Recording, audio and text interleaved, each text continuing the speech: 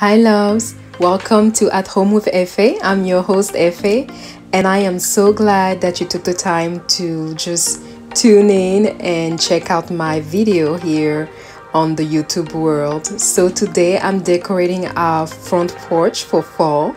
As you can see, we have a couple of pumpkins here and there, some rugs, and a bunch of mums. So if you are interested to see how I obtain this look, please stay tuned.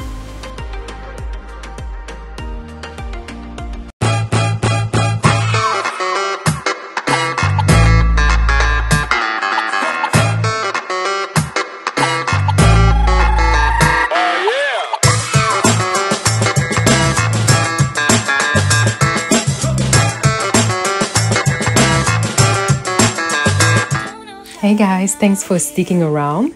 So this is what our porch looked like at the end of spring, beginning of summer with the pop of color with the little um, flowers there.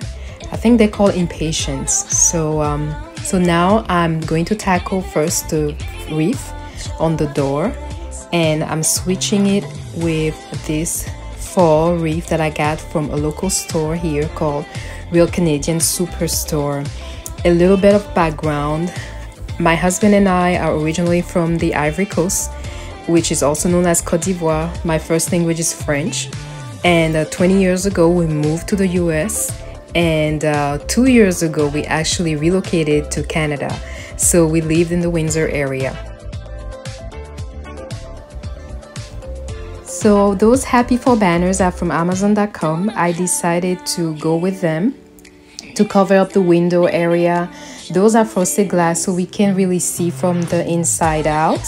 And I decided just to cover it up and it makes a big statement piece, um, a welcoming at the entrance there for our guests. And both of them have the same size. Unfortunately, the way they built the house, this side was way bigger uh, somebody did not do their job right. So I had to figure out how to hang this side of the banner. So here's my nephew Mark helping. We use a command strip to kind of like uh, stick it there. And it was able to hold for a while. Then after that we had to do push pins but hey nobody noticed the way we did it. It was it was fine. It worked out.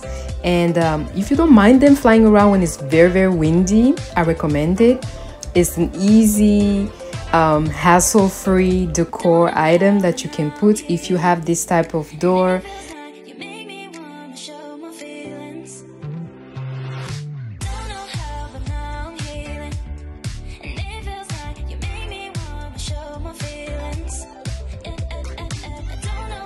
Next up is this chair. I'm just going to change the pillowcase. I found this Hello Fall pillowcase on Amazon.com again.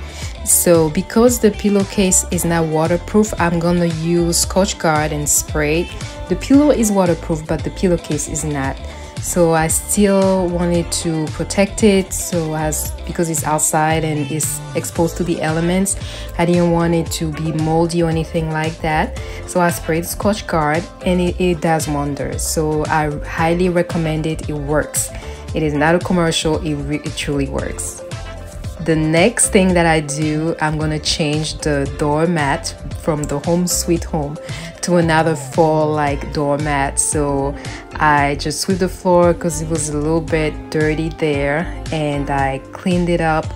Um, previously though, before I decorated everything, I just wanna give you a heads up that I clean, I you know, sweep the floors, I wipe the door, um, everything that was supposed to be done. I did it, but I didn't want to burden you with me watching me clean everything. So I just skipped to the part that you are interested in, okay?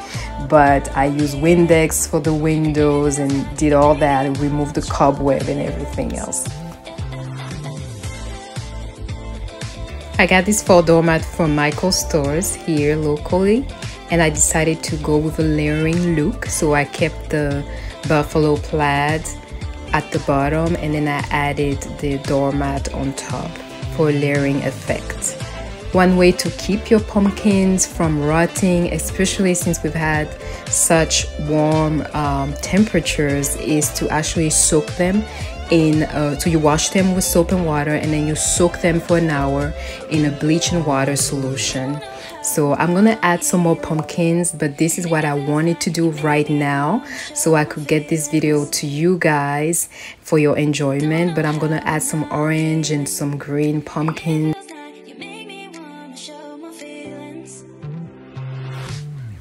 So if you like what you saw, don't forget to like and subscribe and also hit the notification bell so you can stay up to date when I post new material, new videos. If you love all things fall decor, I have a few other videos that I was able to produce so you can check them out also for your enjoyment and for some inspiration.